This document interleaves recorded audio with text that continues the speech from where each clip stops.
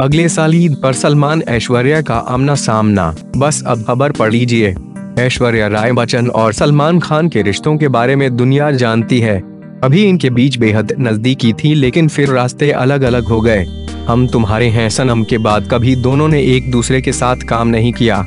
दोनों की यही कोशिश होती है कि सार्वजनिक स्थानों पर भी कभी एक दूसरे से न टकराएँ, लेकिन बॉक्स ऑफ़िस पर अब इन दोनों का आमना सामना अब तय हो गया है।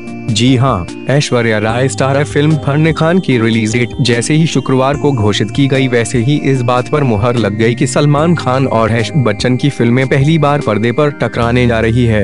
सलमान खान की फ़िल्में हर साल ईद में रिलीज़ होती रही हैं और कुछ दिनों पहले ही घोषणा कर दी गई थी कि रेमो डिसूजा के निर्देशन में बनने जा रही फ़िल्म रेस तीन को ईद के मौके पर रिलीज़ किया जाएगा। रेस के निर्माता रमेश तौरानी ने ट्वीट भी किया था।